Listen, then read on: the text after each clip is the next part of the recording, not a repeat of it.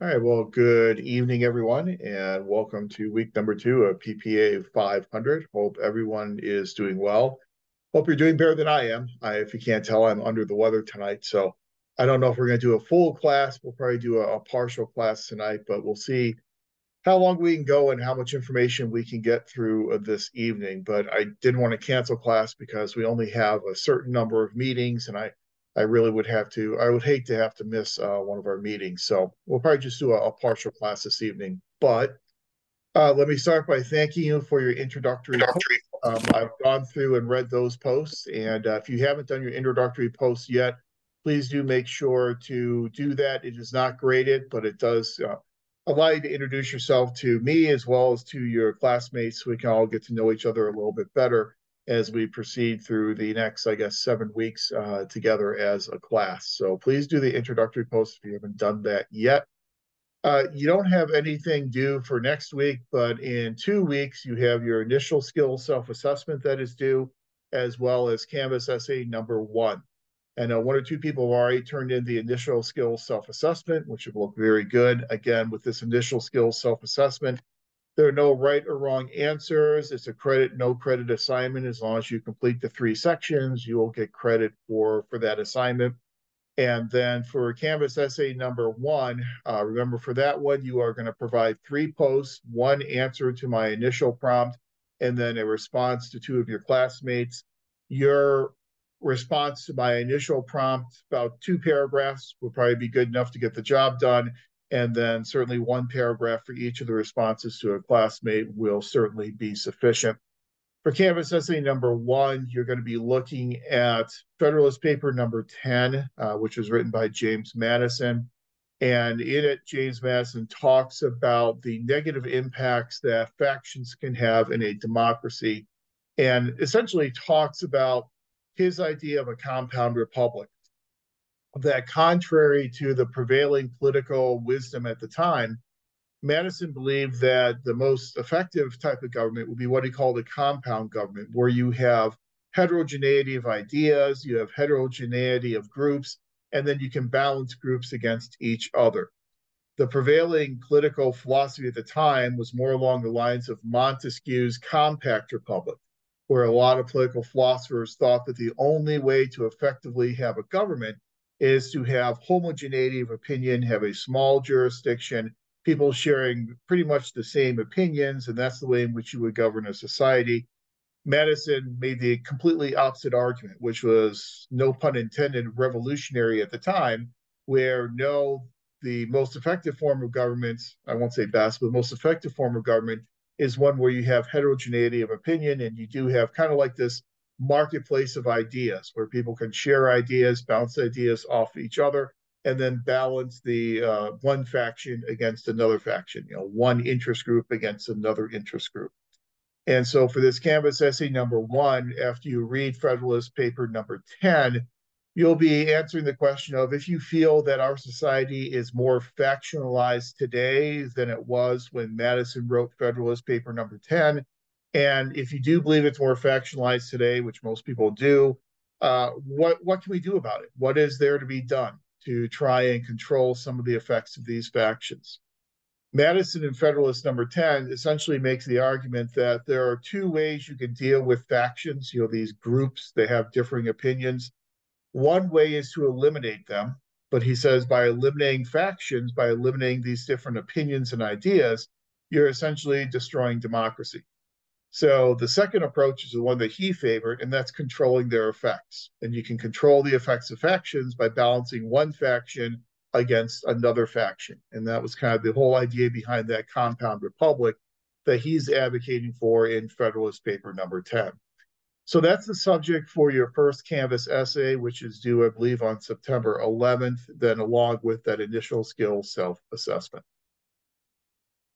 Okay, um, those are your upcoming assignments, uh, but again, they're not due for a couple of weeks. Does anyone have any questions or require any clarifications for any of the information we covered last week in terms of the introduction to the course, um, introduction to the MPA program? Everyone good? Okay. All right, then what we are going to do tonight is we're going to begin our discussion of substantive information with a discussion of the basic foundational elements of American government and what those foundational elements then mean for the study of public administration. And again, we spend time doing this because you know some people have come into this class straight out of a political science undergrad degree, but the vast majority of people do not.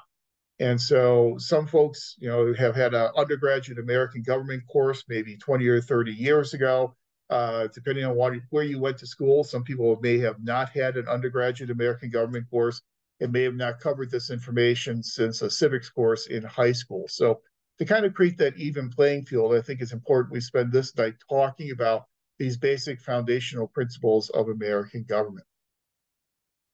Now, as Americans, we know that our system of government is really predicated upon the idea of limitation of power, specifically the limitation of governmental power. So we limit governmental power because in our system of democracy, we really do believe that power emanates from the people, that power comes from individual citizens.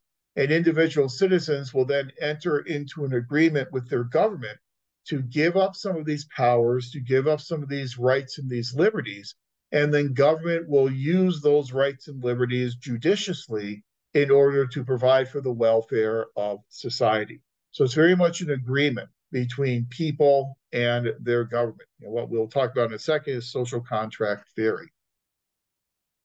So since the P, the power comes from the people, we need to then have mechanisms to try and limit the exercise of power by government. And so our governmental system is predicated upon limitation of powers, which then provides us with these two basic pillars of our system a horizontal limitation of power in separation of powers, and then a vertical limitation of power through our system of federalism. So, as you all know, separation of powers means that we have different branches of government. We have an executive, uh, we have a legislative, we have an executive, and we have a judicial branch. Those three branches of government are all spoken of in Articles 1, 2, and 3 of the Constitution. And as we go through the Constitution at a later time, we will see that the framers really spent most of their time and most of their energy and detail talking about the legislature. They spend most of their time talking about Congress, its organization, um, who will be able to populate Congress, the requirements of serving in Congress, the powers and duties of Congress. Article 1 is by far the longest and most detailed part of the Constitution. Article 2 then deals with the executive branch, it deals with the presidency that is much shorter than Article 1 and contains much many fewer details than what we saw in Article 1 of the Constitution. And then the judiciary is spoken of in Article 3, and specifically, Article 3 only talks about one court, and that is the Supreme Court.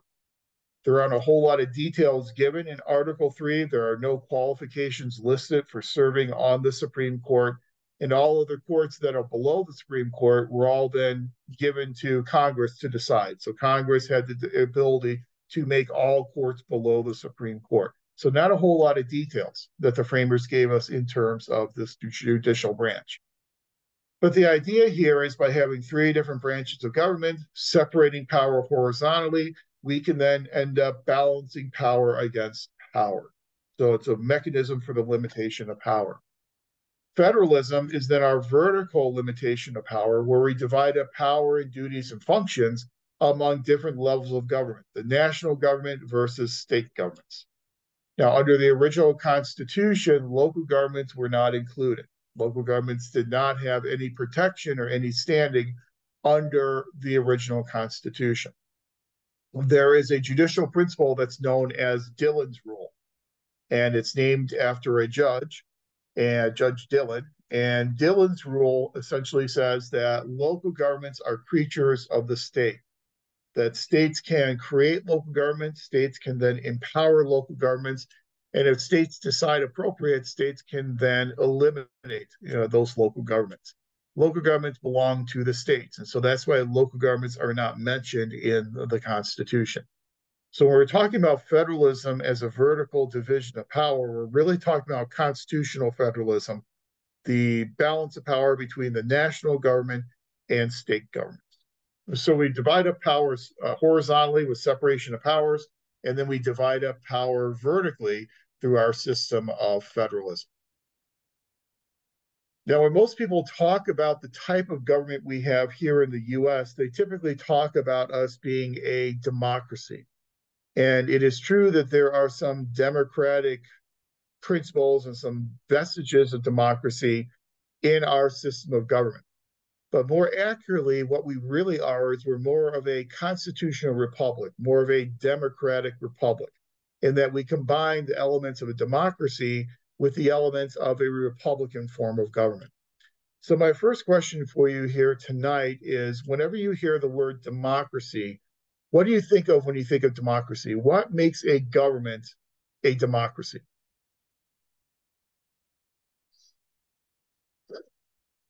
As always, you can either participate through text chat, or if you'd like to open up your microphone and participate in that way, that is, is fine as well. So what's a democracy? What makes a government a democracy?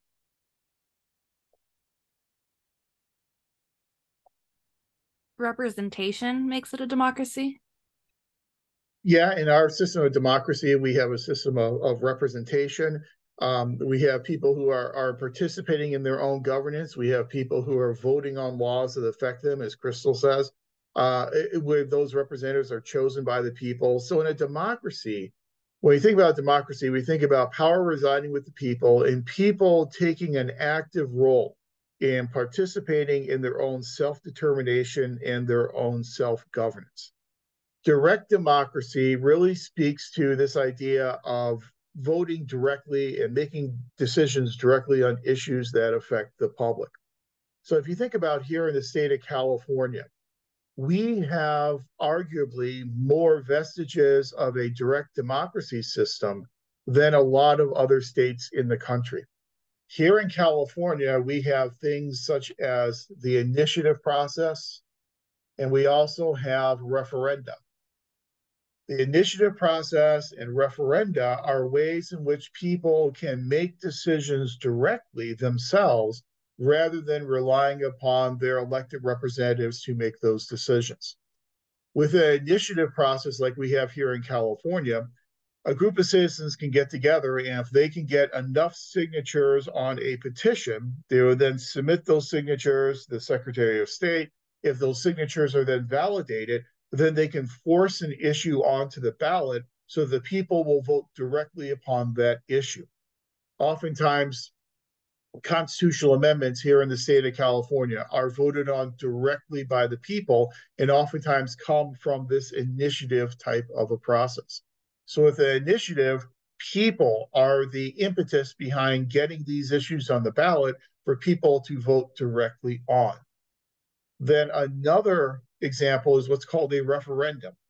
And with a referendum, the state legislature decides that this issue is something we want the people to vote on. So rather than us making the decision here in Sacramento, we will then place a referendum on the ballot and then allow people to vote directly on that issue on the ballot come election day. So the difference between an initiative and a referendum, the initiative comes directly from the people, and the people put it on the ballot the referendum comes from the state legislature, where the state legislature puts it on an upcoming ballot. But both the initiative and the referendum process really represent direct democracy, where people are directly voting and directly making decisions on policies and issues that are important to them. We have both initiative as well as referendum process here in the state of California. Not every state has an initiative process even states that do have an initiative process, sometimes they have a very high bar that citizens have to meet in order to force an issue onto the ballot.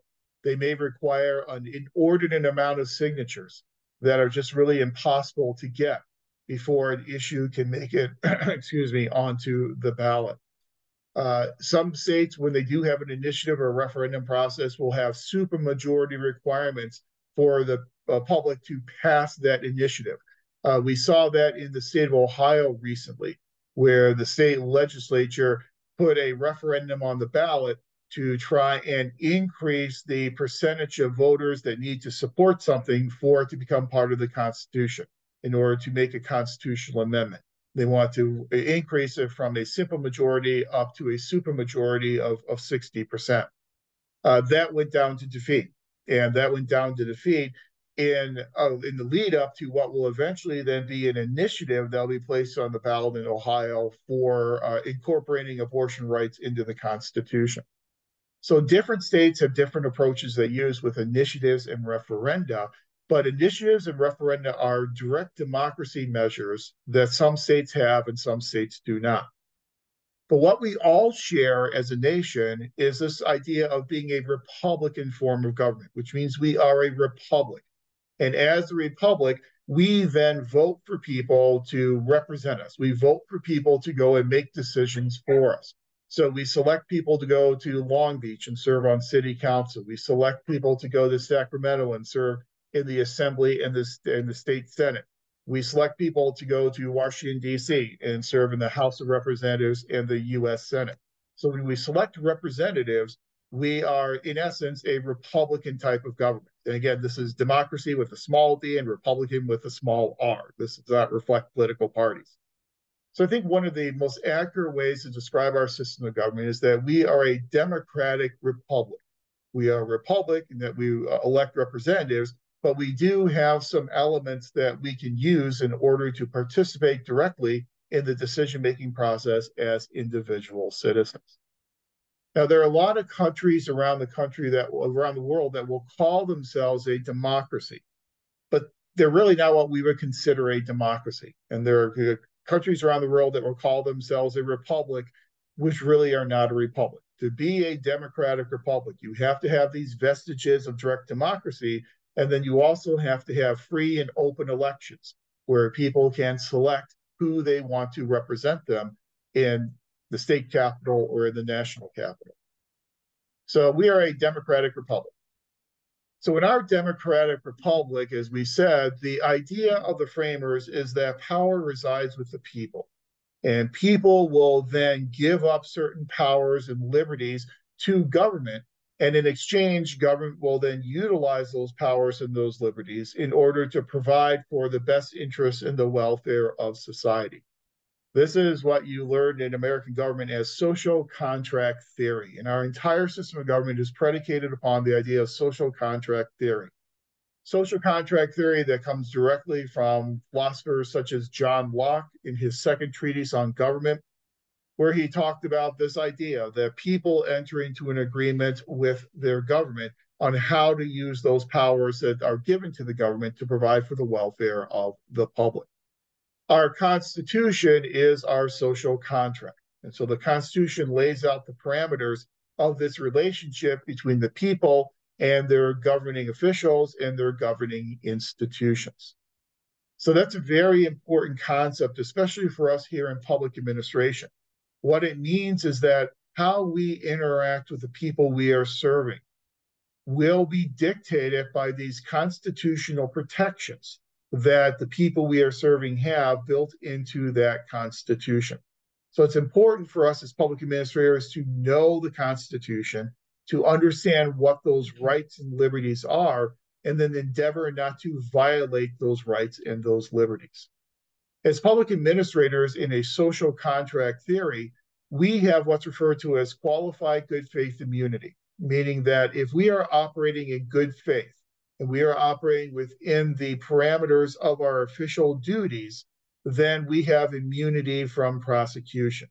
Uh, if you're watching what's going on with in Fulton County, Georgia, and with the uh, former chief of staff, Mark Meadows, who just had a court hearing yesterday trying to move his case from the state level to the federal level, one of the arguments that he is making and will continue to make in the future is that what he was doing, that he's being charged with in, in Fulton County, Georgia, is that he was doing under the course of his official duties, the course of his position as a federal official.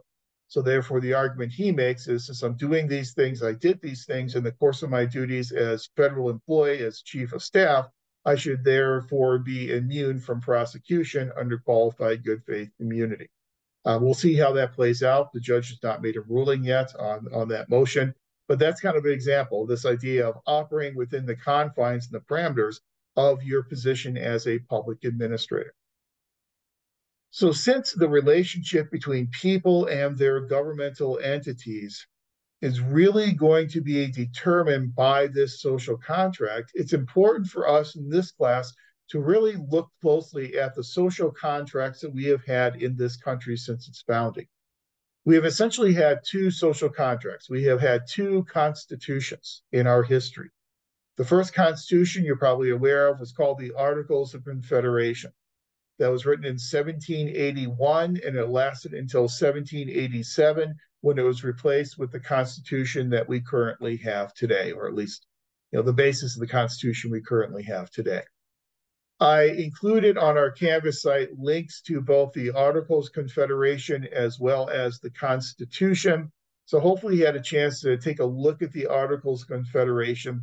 As you look through the articles there are a couple things that probably will will strike you. One thing that is interesting in the Articles Confederation is that very early on in the Articles, the framers of the Articles described the Articles Confederation as a firm league of friendship, that it represented a firm league of friendship between the states. It truly was a confederation. And a confederation is different than a federation in that in a confederation, at least at the time of the framers, each state remains sovereign. That's what makes it a confederation.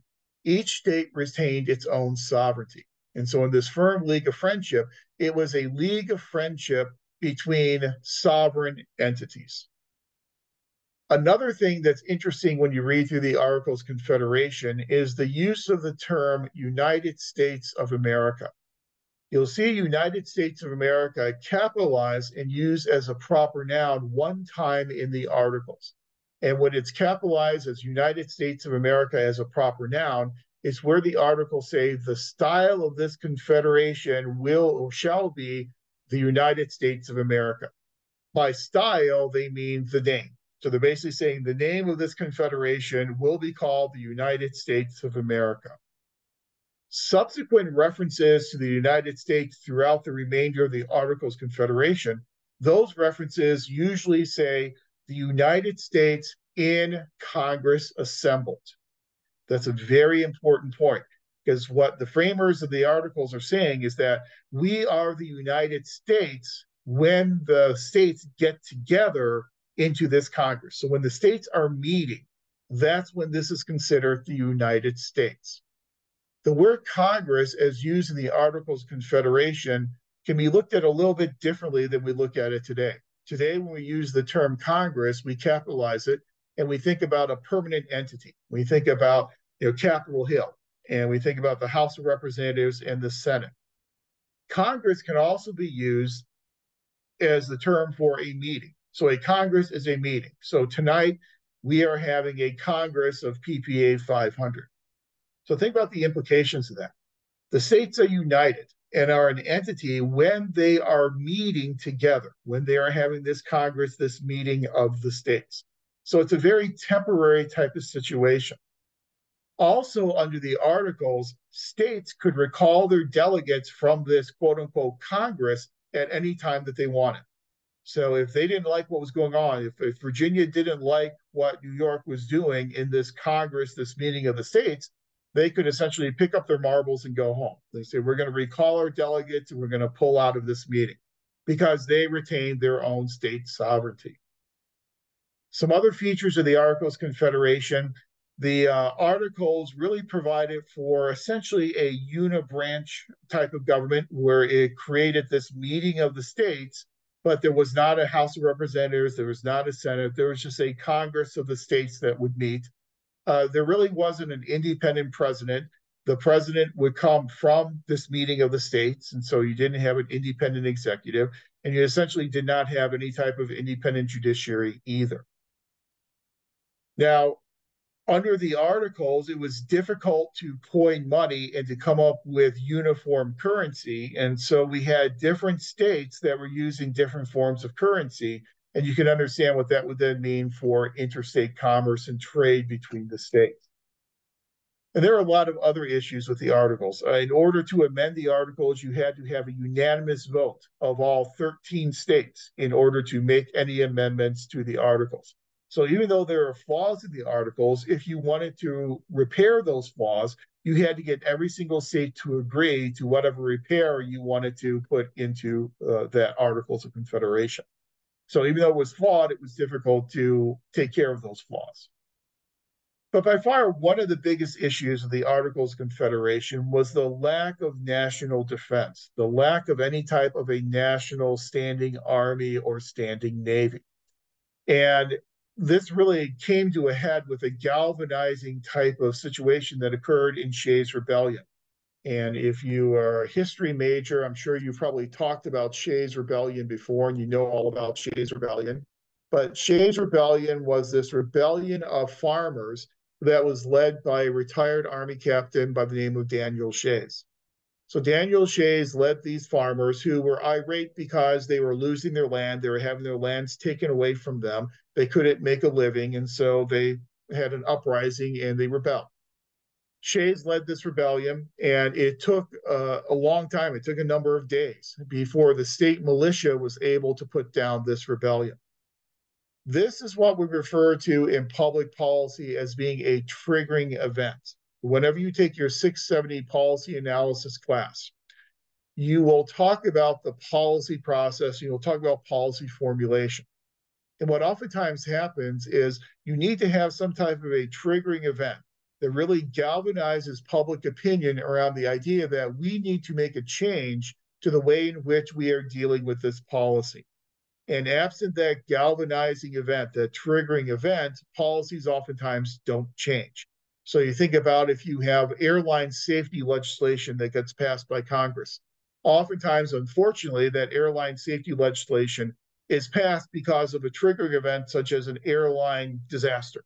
And you have an airline crash that uh, garners a lot of media attention, and then that really galvanizes opinion around we really need to change this approach to the way in which we are dealing with airline safety. On a larger, more tragic level, you can think of um, September 11th was a triggering event. As a result of September 11th, we completely transformed our approach to homeland security. We end up getting all these regulations at airports. We end up getting the TSA. We uh, end up getting all these limitations on air travel that we never had before September 11th, because that was a triggering event that galvanized public opinion. Shays Rebellion was one of those types of triggering events. So people became very concerned that if it was so difficult for us to put down this rebellion, for a state militia to put down this rebellion of farmers, what would we do if we were invaded by a foreign nation? Uh, we would essentially be helpless uh, trying to defend ourselves from foreign invasion.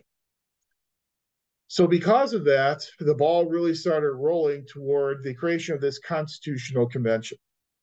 The primary goal of the constitutional convention was to merely amend the Articles of Confederation, to amend the Articles in order to strengthen national defense and to provide us with some protection against both domestic insurrection as well as foreign invasion. So a very limited purpose of the convention was just to amend the articles. What ended up, and the reason why we had to have that convention is remember, you needed a unanimous vote of all the states to amend the articles. So one of the best ways to get that unanimous vote is to get all the states together into a room, and then you get unanimous vote on those amendments to the articles. But what happened at the Constitutional Convention is that you essentially had three different conflicts that were being dealt with at the Constitutional Convention.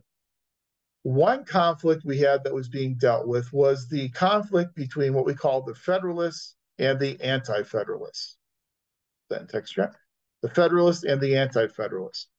The Federalists were led by people like James Madison, who at that time was very much an advocate of a stronger national government. The Anti Federalists were led by people like Sherman from New Jersey, who really believed in state sovereignty and they really feared providing too much power to a national government. They felt by creating a powerful national government, we would erode the power and the sovereignty of respective state government. So he had those two factions. In terms of logistics, it was difficult to get to the Constitutional Convention. It was difficult to get there because the roads were sometimes impassable. You have heavy rains and they were uh, dirt roads, which meant that they would become muddy. You wouldn't be able to travel across those roads. So some delegates got to the Constitutional Convention before other delegates. And it just happened that the majority of delegates that got to the convention first were our Federalists, led by James Madison. So they were able, because they were the first ones there, to really get the ball rolling toward replacing the Articles with a brand new Constitution. By the time the Anti Federalists rolled into town and got to the convention, it was almost too late because the Federalists had already started the ball rolling to uh, replacing the Articles with a new Constitution. Also, another reason why the Federalists were successful at getting a new constitution at the convention was due to a lot of the um, the debate that was led by by James Madison. Madison realized that a lot of the Anti-Federalists would come to the convention arguing to just amend the articles to make a stronger national defense. Madison knew that he had to get the Anti Federalists to agree and admit that they wanted more out of a Constitution than just national defense. And if you think about the people who served as delegates at the Constitutional Convention, in order to be a delegate at the Constitutional Convention, you had to be white, you had to be male, and you had to be a property owner white male property owners at that time were what we considered the creditors. Those were the people who had the resources to loan the money to make the revolutionary cause possible. Since they had loaned out money in order to make the Revolutionary War possible, they obviously wanted to get those debts repaid. And that was the nerve that Madison was able to press on the Anti Federalists to get them to agree they wanted more than just national defense. Uh, there's a, a, very famous book by a historian uh, by the name of Charles Black. And Charles Black wrote this book, An Economic Interpretation of the Constitution. And in that book, he made that very argument that the delegates who were at the Constitutional Convention were there primarily to represent their own economic self interest. Now, when Black made that argument, it obviously created a firestorm of criticism. And a lot of other historians said, no, that's not true. They were there for more altruistic reasons. And where the discipline of history has kind of finally come down on the issue is that, yes, there was an economic motivation among the delegates, but it was more of a motivation for the economic interests of their states as opposed to the economic interests of them as individual delegates. But either way, there was an economic imperative that was built into the motives of the delegates at the Constitutional Convention. So as soon as Madison was able to get the Anti Federalists to agree that they wanted more than just national defense, that they wanted a stronger national government that could wield some power over the economy that would help them get those debts repaid, it was essentially game over for the Articles Confederation because at that point, the changes that would be necessary were far larger than just merely amending the articles. It became clear to everyone that they needed a new document, a new social contract, a new constitution. At the Constitutional Convention, we also had a second conflict, and that conflict was between large states and small states. We had delegates there from some of our large states like Virginia and New York and Pennsylvania, and then we had some delegates there from smaller states such as New Jersey and Delaware and Rhode Island. And the conflict here between large and small states, as you know from American government, was in terms of representation. Large states wanted proportional representation in Congress, small states wanted equal representation. Large state plan was called the Virginia Plan, called for proportional representation. The small state plan was called the New Jersey Plan, uh, which called for equal representation from each state. We ended up getting the Great Compromise, otherwise known as the Connecticut Compromise. And the Connecticut Compromise then called for a bicameral legislature. A bicameral legislature that would include a House of Representatives where representation was proportional and a U.S. Senate where representation was equal, two senators from each state irrespective of the population of those states.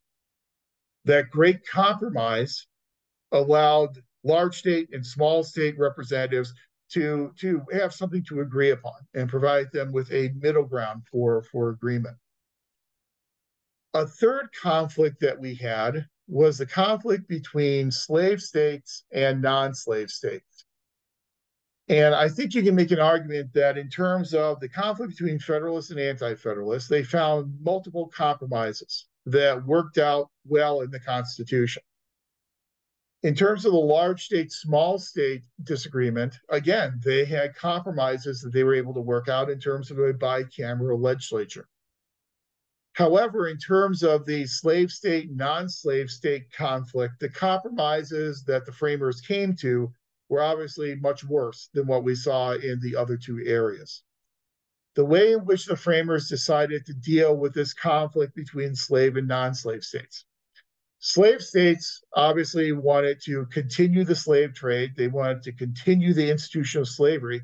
And many of those delegates wanted to incorporate language into the Constitution that would validate slavery. They wanted to build slavery as an institution into the Constitution. Non slave states obviously did not want to have slavery in the Constitution.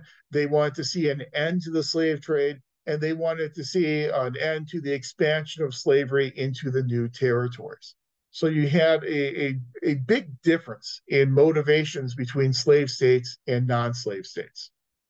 So the two compromises, prominent compromises that the framers put into the Constitution to deal with this was the Three Fifths Compromise.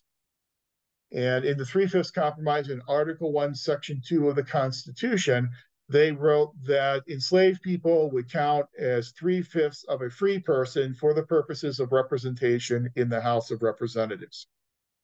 Then another compromise, if you will, it's hard to call it a compromise, but another compromise that they put in was in Article 1, Section 9 of the Constitution, where they banned any laws that would eliminate the slave trade until the year 1808. So they basically punted the issue of the slave trade to a future generation, said, we're not going to allow any rules that will outlaw the slave trade until at least 1808. Those two compromises, the Three Fifths Compromise and the uh, prohibition against banning the slave trade, obviously those are two compromises that have haunted the nation ever since. And those are two compromises that led directly to the Civil War. Uh, obviously, a three fifths compromise is no longer in the Constitution, but it did certainly lead to perpetuating slavery throughout and up to the Civil War. So I think you make an argument in terms of the first two conflicts. The compromises were workable compromises that really created the structure of our government. Obviously, with the compromise between slave and non slave states, those were destructive compromises on many fronts. So these conflicts had to be worked through in the Constitutional Convention. And what it did is it created a constitution, a social contract that is really a series of compromises. Whenever you have a document that is a series of compromises, you're going to have disagreements. You're going to have disagreements on interpretation. And we've been dealing with those disagreements on interpretation ever since the Constitution was originally ratified. Now, again, going back to this Federalist, anti Federalist type of conflict, the anti Federalists were still not mollified after the Constitution was adopted at the convention. They still felt that this Constitution provided too much power to national governments and took away power from state sovereignty. So, when it came time to ratify the Constitution, you still had anti Federalists who were uh, who were kind of dragging their feet, who did not want to ratify the Constitution in order to ratify the Constitution, you had to get nine states' approval before the Constitution could go into effect. And within about a year, they were successful at getting nine states to ratify the Constitution. However, one state that did not ratify the Constitution was the state of New York, and that was very problematic. The state of New York was the linchpin of commerce in the colonies and everything, all commerce going through the colonies was essentially most of it would flow through the port of New York. And so, if you didn't have New York on board with this new constitution, this new national government, you really had nothing. And so, the framers knew they had to convince the citizens of New York and the leaders in New York to ratify this new constitution.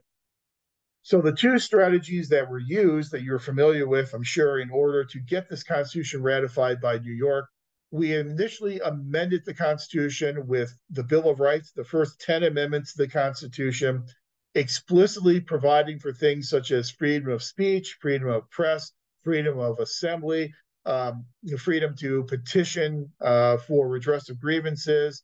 Uh, we provided, you know, uh, protections in terms of um, uh, the Second Amendment protections, in terms of the right to bear arms, provided protections in terms of your home where you don't have to quarter soldiers, and the Third Amendment, uh, some criminal justice protections such as protections against unwarrantable search and seizure, protections against double jeopardy, protections against self-incrimination, uh, provisions for uh, indictment by grand juries, uh, the protection that you cannot have life, liberty, or property removed without due process of law, um, the protections in terms of no excess fines, no excess bail, no uh, cruel and unusual punishment, protections against um, uh, protections for having a jury trial in civil cases where the amount is more than $20, which sounds trivial today, but was important then. Uh, limitations on what the national government can do vis-a-vis state governments and individuals, saying that any powers are not given to the national government are then reserved for the people and or to the states so these this tenth amendment, these uh, ten amendments, this Bill of Rights provides a lot of those protections that anti-federalists were looking for to truly limit the overarching power of the national government. So the Bill of Rights helped to mollify a lot of those anti-federalists. Then the second thing that was done was the writing of the Federalist Papers. And again, I assigned you three Federalist Papers saying really focus on two of them, Federalist number 10 and Federalist number 39 there are 85 Federalist Papers, 85 Federalist Papers written by Alexander Hamilton, James Madison, and John Jay. 51 of those papers were written by Alexander Hamilton, 29 were written by James Madison, and only five of those were written by John Jay. John Jay fell ill after writing five and, and didn't complete any others. And so Hamilton basically picked up the slack and, and finished the remaining papers in those Federalist Papers, Hamilton, Madison, and to a lesser extent, Jay argued for why this new national government would not be too powerful. They essentially argued why anti federalists should not be afraid of this new national government. And so, two of the Federalist Papers that you are reading for this class, Federalist 10 and Federalist 39. In Federalist number 10, which we've already talked about the outset of class tonight, is where Madison talks about controlling the effects of factions. So people were concerned that if you had this compound republic and you had all this heterogeneity of opinion and all these different groups that disagreed with each other, that the nation would tear itself apart. And so in Federalist 10, Madison basically gives us the roadmap for how we can avoid that type of situation from happening. And that's the one that you'll be talking about then in Canvas essay number one probably my favorite Federalist paper. You know, I know it sounds kind of wonky to say that, but my Federalist favorite uh, favorite Federalist paper is Federalist paper number 39. In Federalist paper number 39, James Madison, I think, makes a very cogent argument for why anti-federalists and why the states should not fear this new constitution. And when you read Federalist 39, you'll see that he makes two arguments. The first argument he makes is do not fear this new constitution, do not fear this new national government, because it's very similar to what you currently have in your own states. The Constitution is not unlike what you have in your state constitutions. The office of presidency is not unlike what you currently have in your governor's offices. You've got a president who is going to um, be limited in terms of uh, balance with the uh, legislature and balance with the judiciary much like what we see in the state constitutions. You, your president is going to have a four-year term, which is actually shorter than the terms of a lot of governors in a lot of your states. So you shouldn't be afraid of that. So you shouldn't be afraid of Congress in that the National Congress looks and operates very similar to the way in which state legislatures work and operate as well. So in, in essence, he's saying, don't be afraid because you've seen all this before. And this is very similar to what you currently have in your states. It's nothing earth shattering, it's nothing to be afraid of.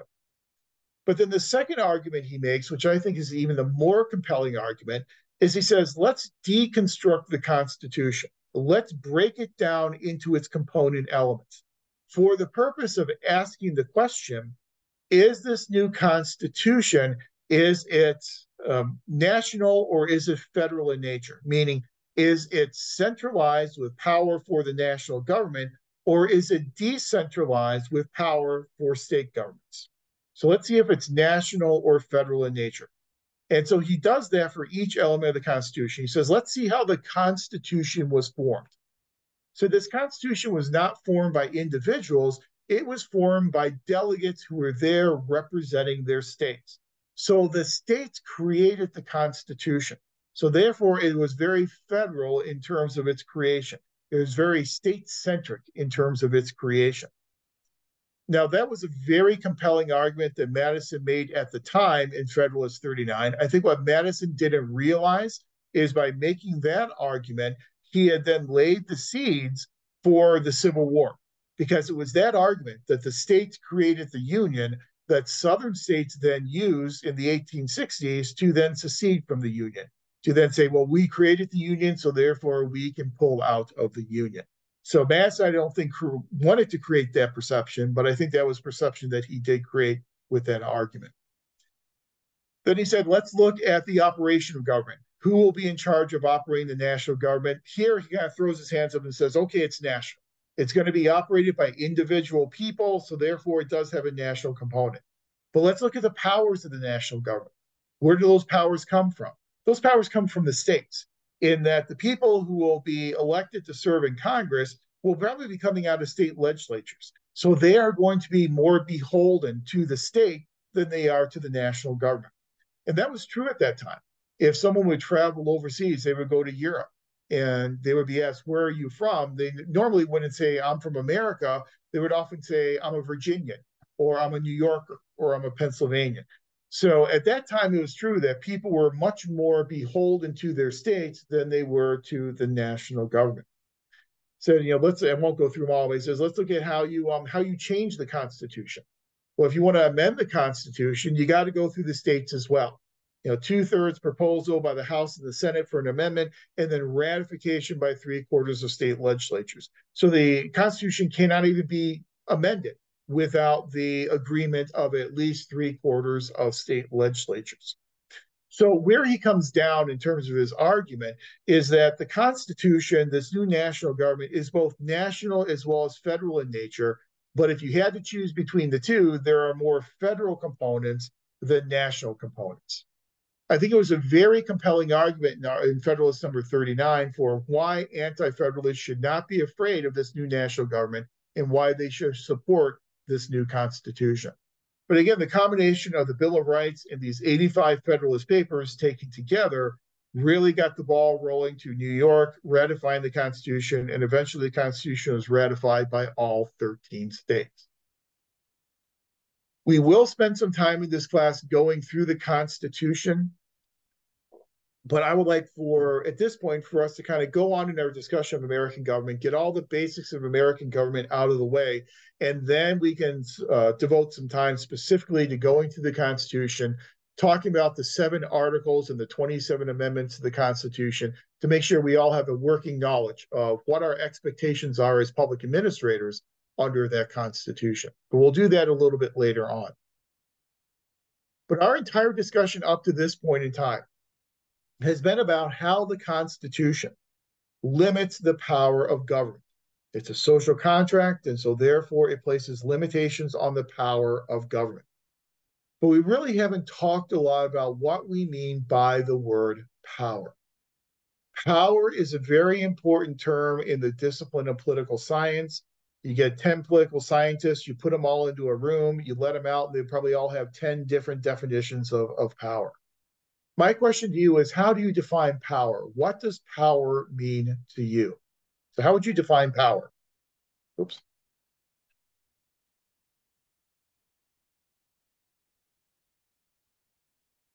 What's meant by power? Uh, Miles says authority. Absolutely. It's authority. Authority of someone over someone else. Uh, see, the power of influence, the amount of, oh, they're coming in fast and furious. Uh, there we go. Scroll up a little bit uh, influence, yes, ability to act and decide, control, control over people or resources, amount of influence one has, power is having influence. I agree with all those. And absolutely, power is about influence, the ability to influence others. And oftentimes, when we are exercising power, being able to exert own will of ideas over others, it, when we are able to influence others to do something they otherwise would not do, oftentimes by the utilization of resources, we are probably exercising power. So if we can use resources and authority in order to influence someone to do something they otherwise would not do, we are exercising power. The most basic type of power is coercion. And every government, in order to be considered a government, has to have the ability to exercise coercion of its citizens. As citizens, we are coerced to do things we otherwise would not do. We are coerced to pay taxes. In our rational self interest, we probably would not want to pay taxes or at least the amount of taxes that we are currently paying. We also probably would not want to take the time to serve on a jury we're coerced to do jury duty. And so governments have this coercive influence, otherwise known as governmental power. There's a very famous sociologist by name of John Gaventa. I'll put his name into text chat, but John Gaventa. And John Gaventa really was interested in this idea of power. And so, being a good social scientist, he decided he was going to go out in the field and he was going to study power uh, among people and see how power actually, what it was and how it was being exercised. So, what he wanted to do is he wanted to find the most uneven or unequal balance of power in the in, in, in the country. And one of the most unequal balances of power that he found was in rural Appalachia. So he went into rural Appalachia and went into a coal mining town. And he knew in that coal mining town that that coal mining town was a company town. As a company town, it meant that the coal mine owners owned pretty much everything in town. They had a general store that was owned by the company. People who worked in the coal mines were being paid oftentimes not with money, but rather being paid with tokens, tokens that could only be redeemed in the general store, in the company store. These coal mine workers were working very long hours in very dangerous mine conditions. So they are working 70, 80 hours in the mines. And the conditions of the mine were dangerous. If you know anything about coal mining, you know that mines have this dangerous propensity for exploding. Uh, whenever you do mining, you release gases. Whenever gases are released in the mine, if there's any flicker of flame, that's an ignition and the mine can explode. There's a process in mining known as dusting. And whenever you dust the mine, you tamp down the gases, which then reduces the risk of explosion.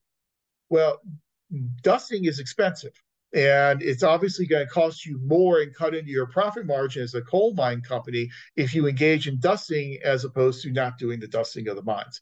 So the mines are not being dusted. People are working very long hours in these very dangerous conditions, being paid with tokens rather than being paid with, with money. And what Gaventa wants to know is why were the coal miners willing to put up with that? Why were they willing to do all these things that seemed to be completely contrary to their personal, rational self interest? What he wants to know is how were the coal mine owners exerting this much power over the coal mine workers? And it led him in his study to come up with three, what he called three faces or three different types of power.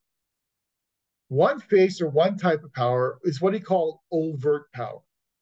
Well, it's really what I call overt power, but basically what he means is with overt power, with this first type of power, both parties know that power is being exercised. And so when I used to teach on campus, I'd say I'm you know, teaching up on the, the the third floor, of the SPA building. You get your midterm exam score. You don't like the score I gave you. You come up behind me and you push me out the window you're exerting power over me. You're influencing me to go out the third floor window, which is something I otherwise would not do.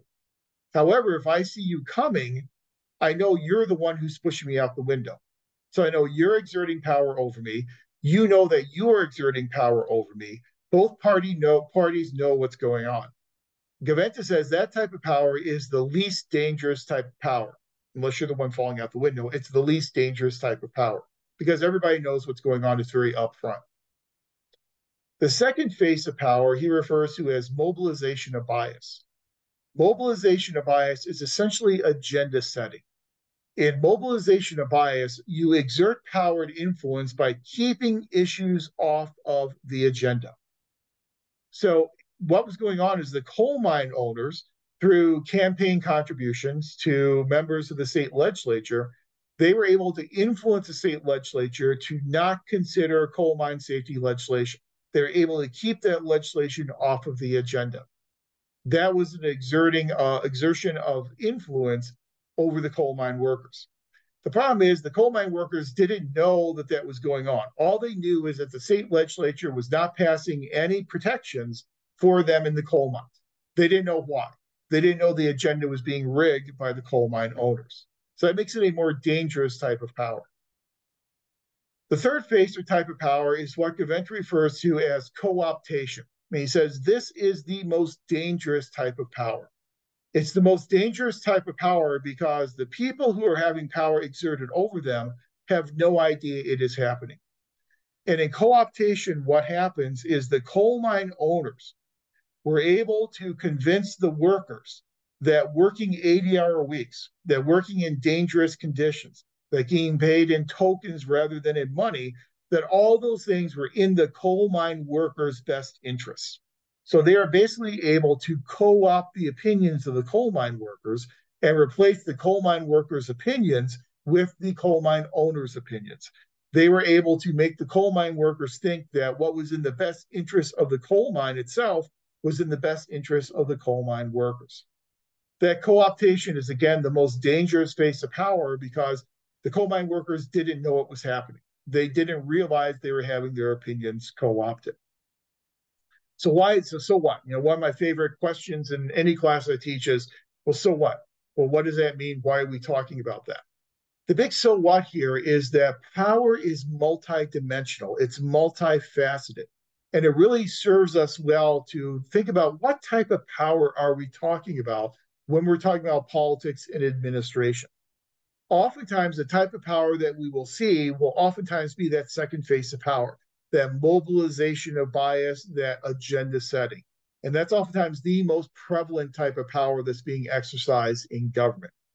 However, co optation does occur, and we do see people voting contrary to their best interests. And that happens all the time, where they'll vote contrary to their best interest because their opinions have been co opted by a candidate, a political party, or a governmental institution. So I bring up these three different faces of power just for you to remember this information because as we go through this class, whenever we talk about power, we're going to return to this multidimensional definition. We're going to ask the question, well, what type of power are we talking about?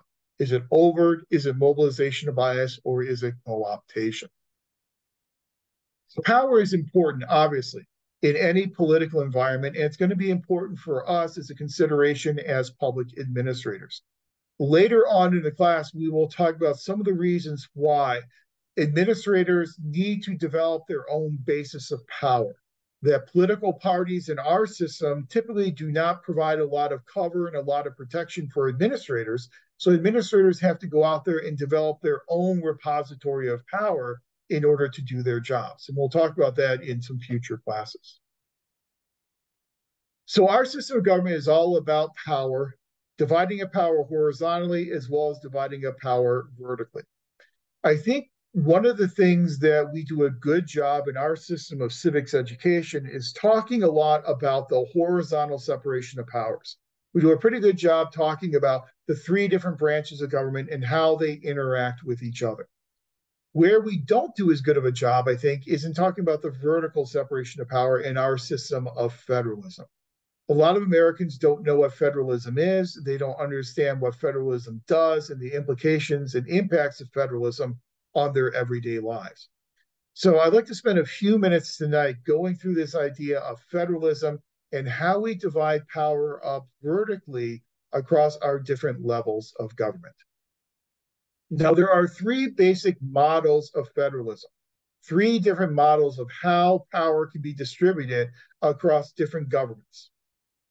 The one model you'll see there on the screen on the right in that inset box is what's called the coordinate authority model of federalism.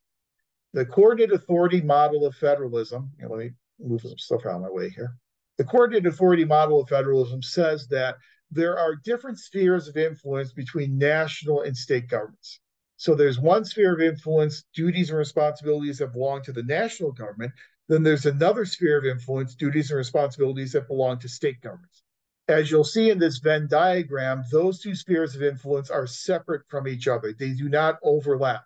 So the relationship between national and state governments is an independent relationship with two separate independent spheres of influence. You will notice, though, in the state circle that the local circle is completely subsumed within the state circle because of what we had talked about earlier with Dillon's rule that local governments are creatures of the state. Then a second model of federalism is this one called an overlapping model, this middle Venn diagram. In the overlapping model of federalism, all three of your circles, national, state, and local, will overlap in some degree. And so whenever you see N and S, that's where the national and state overlaps. N and L is where the national and local overlaps. S and L is where the state and local overlaps. So in overlapping federalism, the relationship is much more of a relationship of interdependence between the three different levels of government the way in which they interact with each other in an overlapping pattern is a bargaining relationship. They have to bargain with each other in terms of who's doing what and how they're carrying out their functions. Over here to the left in the coordinate authority model, because they are separate, the authority pattern is that of autonomy, in that the national government is autonomous, it is sovereign, state government is autonomous, and it is separate and sovereign. Then your third model of federalism is called the inclusive authority model. In the inclusive authority model, as you can see, the state sphere of influence and the local sphere of influence, those are both subsumed within the national sphere of influence. State governments are dependent upon the national government, local governments are dependent upon both the national as well as the state government. So the relationship between the levels of government are relationship of dependency, and it's a very hierarchical situation and that power flows down from the national to the state to the local levels of government. So those are the three basic models of American federalism: coordinate authority model, overlapping authority model, and inclusive authority model. Now, federalism is a very dynamic term. It's something that has changed and evolved over the past 200 years. And the way in which we view the relationship between levels of government in terms of being coordinated or overlapping or inclusive authority has changed as well.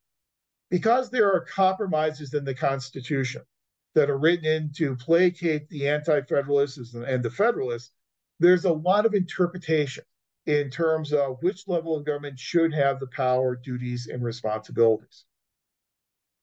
From the founding of the nation until the beginning of the Civil War, a lot of federalism authors will make the argument that we were in a first era of federalism known as dual federalism. Dual federalism represented this coordinate authority type of a model. National government and state governments had their different spheres of influence, and never the two shall overlap. They were separate spheres of influence and separate areas of duty. In dual federalism, under this coordinate authority model, the state sphere of influence was larger than the national sphere of influence. So if you had to redraw this model for dual federalism, the state circle would be big and the national circle would be smaller. And that was until the Civil War. After the Civil War, Reconstruction, the Civil War, we then moved into a different era of federalism known as competitive federalism the whole idea of states' rights, the whole idea that states put together the union so therefore they can leave the union, that was dead and gone at the end of the Civil War. So that was put to bed. So states could no longer say they had the equal sovereignty of the national government. And so in the competitive era of federalism, what happened is you still had a coordinate model, but this is where the national sphere grew and the state sphere started to shrink. So your national circle gets much bigger than your state circle think about in the 18 late 1880s, 1890s. You had the national government starting to usurp a lot of authority and duties from state governments. Whereas state governments used to do all their regulation of commerce, now the national government creates the Interstate Commerce Commission and starts to regulate interstate commerce. You had states that historically controlled work conditions within their states. You now have the federal government becoming involved in making sure that workplaces are safe and free of harm. States used to regulate food safety and food quality. Now you've got the national government stepping in doing it. Uh, states used to regulate pharmaceutical medications. Now you've got the federal government stepping in and doing it. So the national sphere of influence grows through national regulation at the detriment of the state sphere of influence. That's the competitive era of federalism running from the end of the Civil War up until the New Deal. We know we had the stock market crash in the late 1920s. We had the FDR administration come in in 1933 and bring with it this idea of a New Deal to help pull state and local governments out of the depths of the Great Depression. FDR's New Deal called for the creation of a lot of new government programs at the national government level. We had the creation of what we call these alphabet agencies, all these new agencies that were created to implement all these new programs to help try and pull the country out of the depths of the Great Depression. When you create all these programs, you create all these agencies, a lot of these programs become predicated upon the grant of money. So we see the rise of what we call fiscal federalism. The national government starts giving grant money to state and local governments to help them out and help them get out of the Great Depression. Once you have national government providing money to state and local governments, the relationship changes from a coordinate model to an overlapping authority model. So now, because of all these grant programs, national, state, and local responsibilities start to overlap with each other in this era of cooperative or fiscal federalism. And that's going to run up until essentially the Johnson administration, in the middle of the Johnson administration. John F. Kennedy is assassinated in 1963, and Lyndon Baines Johnson becomes president. When Lyndon Johnson becomes president, he brought a different approach to federalism with him to the White House. And he brought the model known as the inclusive authority model. Johnson believed through his war on poverty and through his great society that decisions should be made in Washington, D.C. Decisions should be centralized at the national level of government and then the national government will use tools to get state and local governments to come into compliance with these national objectives. So, in terms of um, the Great Society and the war on poverty, a lot of these social welfare programs grew up at the national level, and then the national government would use grants and mandates. They would use money and they would use orders to get state and local governments to come into compliance with these directives as part of these social welfare programs. So, everything started flowing top down from Washington, D.C., down to states and down to local governments in very much this inclusive authority model. Through the use of all these types of grants, you then had state and local governments that became dependent upon federal government money. So much so that it's very much this inclusive authority type of relationship. Once Richard Nixon's elected to the presidency and comes into the presidency in 1969, he brings a completely diametrically opposed approach to federalism. He rejected the idea of a top down type of relationship. And he wanted to go back to kind of this coordinated authority model whereby state governments would have most of the responsibilities and would have most of the duties, shrink the size of the national government, grow the size of state governments. So it's a complete turnaround from Johnson's inclusive authority model. In the Nixon administration, his approach to federalism was oftentimes referred to as new federalism, the new approach to federalism, allowing state and local governments to have the decision making authority that before that resided with the national government. Nixon's approach to federalism revolved around what we call the three D's of federalism the first D is decentralization. He believed in decentralizing decision making down to state and local governments, allowing state and local governments a seat at the decision making table so that they could participate in making decisions about issues that directly uh, directly confronted them, that directly affected them. So decentralize the decision making model. The second D was referred to as devolution. Devolution is providing the resources for those state and local governments to carry out the decisions that they are making. It's one thing to say you're allowed to seat at the table to participate in decision making. It's another thing altogether to say, here are the resources you need to then carry out the decisions that you have made. And then the third D of Nixon's federalism was deregulation. So remove some of these regulations on state and local governments, as well as removing regulations on businesses to free them up to be more entrepreneurial and to act more in their own self-interest. So through decentralization, devolution, and deregulation, we will then turn back power and responsibility to state and local governments. One of the tools that Nixon used to try and do this was something called general revenue sharing. Put that in text chat. Something called general revenue sharing. And what Nixon would do is he would say, let's turn over a percentage of federal income tax revenue directly back to state governments. We'll give them this money with essentially no strings attached. So they can use this money however they see fit, however think they think match their best interests.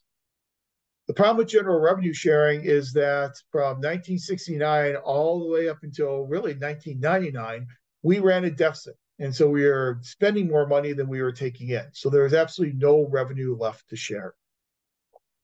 In 1981, when Ronald Reagan comes into the White House, he was a big believer in Nixon's approach to federalism. He once again wanted to decentralize and devolve and deregulate. So sometimes Reagan's approach to federalism is referred to as new new federalism because it was kind of a redo of Nixon's new federalism.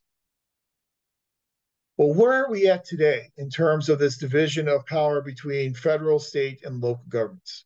I would argue that the era of federalism we are in now is what's called contextual federalism, where it really depends upon the issue. If you want to determine which level of government has the power, has the influence, it depends upon the issue that you are looking at. In some issues, it's the national government. In some issues, it's state governments. In other issues, it's local governments prior to this point in time, if you wanted to predict what an administration would do in terms of federalism, you would look at its party affiliation. So if you had a Republican president, that Republican president would probably favor decentralization, devolution.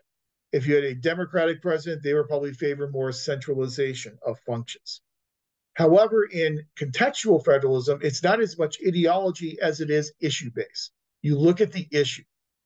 Democratic presidents may approach issues differently in terms of federalism. And I give you a, a couple of really quick examples.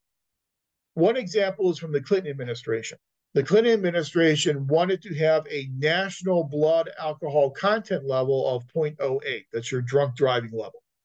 Uh, different states had different drunk driving standards. Some had a 0.06, some had a 0.10, some had a 0.12. The Clinton administration wanted a 0.08 blood alcohol content level adopted across the entire country. Well, there's no place in the Constitution that says the national government can dictate blood alcohol content levels to state governments. There's no such thing as blood alcohol content levels when the Constitution was written. So instead, what the Clinton administration did is it used targeted grants, and it would say, if you are not going to reduce your blood alcohol content level to 0.08, we are going to remove grant money away from transportation. We're going to take transportation money away from you until you reduce your blood alcohol content level to 0.08. That's an example of a, a, a president taking on very much of a centralization approach. However, also in the Clinton administration, we had welfare reform. So in 1996, we had this Personal Responsibility and Work Opportunity Reconciliation Act in which Clinton worked with Republicans in Congress to decentralize the welfare system, to provide these block grants, these temporary assistance to needy family grants uh, to our to people who are receiving welfare, and to provide states with a lot more flexibility in terms of how they spent those grants. So at blood alcohol content levels, you had a Democratic president favoring centralization. However, on welfare reform, you had a Democratic president favoring decentralization. So, two different federalism approaches for the same president, uh, essentially two years apart. So, it's very, very much more issue based today in our study of federalism. In the era of contextual federalism, what it means for us is that studying federalism is more difficult today than it was in the past. It's not ideological, it is more issue based today. And you can see a Republican president for one issue being very centralizing and for another issue being very decentralizing. But the important takeaway with this discussion of federalism is that federalism is very much a dynamic concept. Federalism changes over the years, and one of the main reasons why federalism changes is because of judicial interpretation. The ultimate arbiter of the Constitution when it comes to federalism will be the Supreme Court. And at certain points in time, the Supreme Court has favored national government power. At other points in time, it has favored state and local government power. And so there's very much this ebb and flow of power between national, state, and local governments. Well, to wrap this up, the big so what question is well, what does this mean? What does separation of powers and federalism mean for our work as public administrators? I think one of the most important implications is what's called the many masters theory. That as public administrators, we serve many masters. We have to be accountable to the legislature that provides our appropriations. We have to be accountable to the executive that's in charge of, of public administration, that's in charge of the executive branch. We also have to be mindful of the judiciary as well, because the judiciary can interpret our actions and can then issue things like structural remedies, whereby they can require us to take certain types of actions to remedy something that's been done in the past. A lot of agencies are dealing with consent decrees that have come from the judicial side of separation of powers. So we serve all three branches of government, but we also serve vertically national, state, and local government.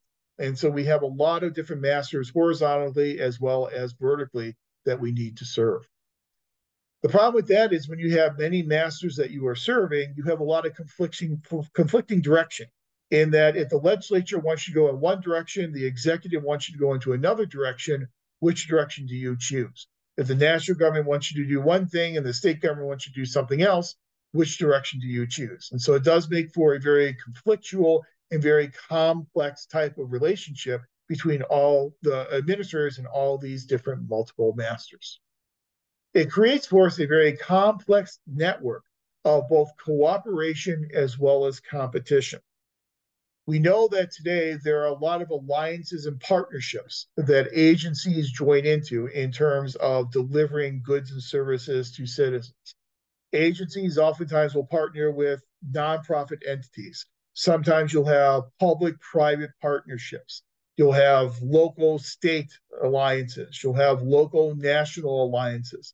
So there's a lot of cooperation that goes not only horizontally, but also vertically through our system. There's also a lot of competition in that agencies compete against other agencies in terms of what we call the turf wars. That agencies will say, well, this is our domain. Another agency will come along and say, well, this is our domain. So there's also a lot of competition that goes on with that cooperation. What it does overall is it creates for us this unique environment of public administration.